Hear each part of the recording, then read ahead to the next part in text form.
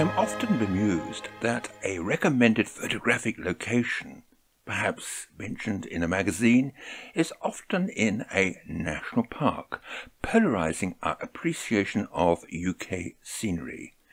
There is an embarrassment of riches at other locations that do not receive the same recognition or praise they deserve, and this is what this program is all about, but drawn from a selection of just ten. I sometimes have the fanciful thought that should I turn up at a Lake District honeypot like Ashness Bridge, I will first have to join a queue of other photographers.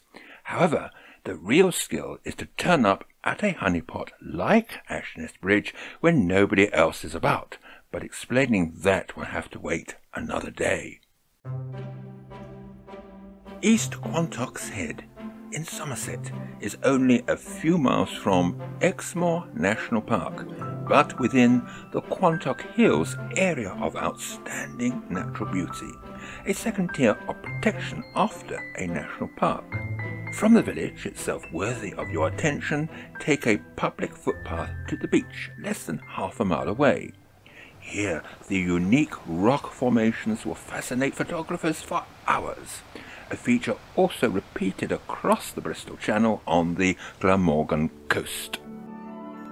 You may have passed the lane leading to Dell Quay on your way to West Wittering, a popular bathing beach for sun seekers. Parking is limited at Dell Quay. It might be best to walk from Fishbourne, where there used to be a Roman villa. It is less popular than Bosham Quay. Dell Quay is photogenic at any time, but facing west, it is magic at sunset. To make your day perfect and to park the car, why not have a meal at the pub and enjoy a grandstand view of the dying rays of the day, perfected, of course, by an excellent meal. Purists climb St. Martha's Hill from Chilworth, less than a mile away. There is a car park, but still a bit of a climb to the church that crowns its summit. I have visited St. Martha's in all weathers, most memorably when I got caught in a late afternoon shower, so I popped inside the church for refuge. This wide-ranging view encompasses much of the Surrey Hills, popular with locals and visitors from London, but not so well known elsewhere. So we keep this little secret to ourselves. So don't tell anyone, will you? Bedfordshire is not a county that has you rushing to for photographs. You probably get no nearer than Toddington services on the M1. Why not take the next exit and surprise yourself and enjoy the place to yourself? However, Dunstable Downs on the Chiltern Ridge is popular and worth a look on the right day. You need clarity of light and not just a good camera and technique to make it work. Dunstable and Luton are not far, but the ridge westwards extend to Ivinghoe Beacon in neighbouring Buckinghamshire, which I have featured in another video. Make a day of it! Whipsnade Zoo is not far, and neither is the Tree Cathedral. Or why not visit one of the county's old world villages? Their architecture might astonish you.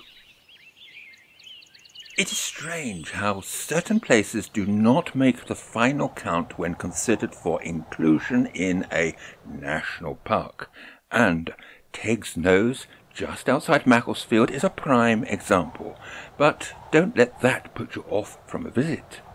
There is a car park, but the more energetic may like to indulge in a 16 mile round walk from Macclesfield, which I did from the railway station and describe in another video. Previously used for quarrying, apparatus from this former industry is displayed, but it is the extensive views from the top that excite most visitors today. There is a tea shop and usual facilities for your own personal comfort. Driving along a pleasant country road, in this case the B6341 from Alnwick to Rothbury, a glorious view suddenly opens up of the distant Cheviot Hills. We are not in Northumberland National Park yet, but this view is the perfect introduction. This is Corby's Crags, and as you start the descent, there is limited roadside parking on the right. After spending some time admiring and photographing this splendid panorama, drop down to Edlingham. Or do we pronounce it Edlingham? I'm not quite sure. Anyway, it is in view from the crags and explore its church and castle.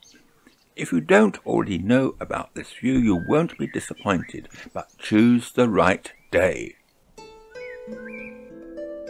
Although popular locally, I suspect that everyone else charging down the M4 motorway to places further afield will overlook the attractions of the Glamorgan coast.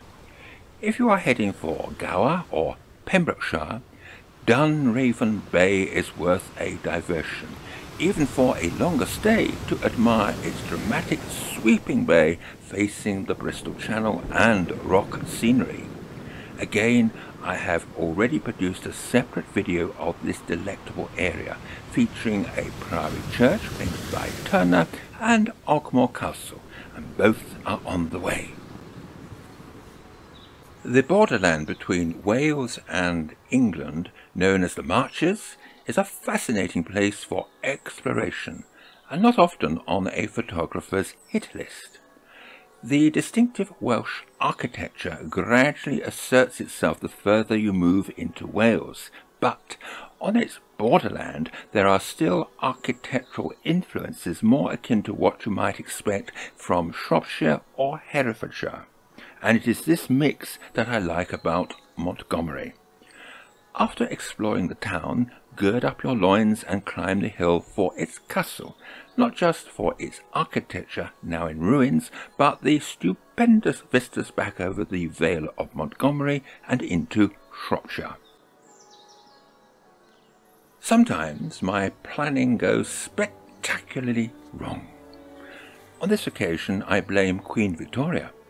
First, let me take you up Craigower, just outside Pitlochry, for the distant view of Loch Tummel. Queen Victoria was utterly captivated by this loch, but not, I hasten to add, from here. Known as Queen's View, a viewing platform has been constructed overlooking the loch. So far, so good, but now with better access, a few more visitors have beat me to this fabulous place. Still, it was worth the wait, and it wasn't long before I had the place to myself.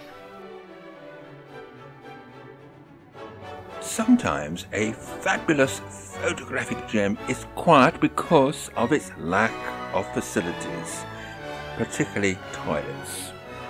Castle Tioram is one such place.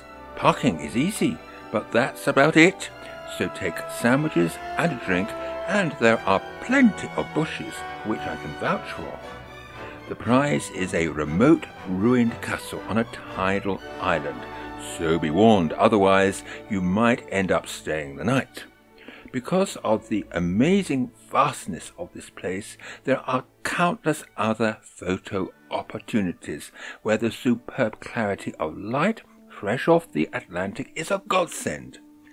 Shortly after leaving the main road, look out for a lovely old bridge over the river Shiel. It's on the left and accessible. There is a parking space, just about, but only for one vehicle. I am often surprised how ill-informed some photographers are about the scenery of the British Isles. On one occasion, when presenting a lecture to a club, a member of the audience suddenly asked if I would run out of places to photograph. National parks play an important role in looking after our countryside, but they tend to polarize our views with the assumption that whatever is outside a national park is not worth considering there is a second level of protection, and they are areas of outstanding natural beauty, known as AONBs, and there are over 40. Many of my selection are located within these designated areas, but don't stop there. My local woodland is administered by the City of London Corporation. It does not lie within an AONB or national park, but it is still very photogenic. Maybe a video about photogenic landscapes not protected by a national park or an AONB is my next challenge.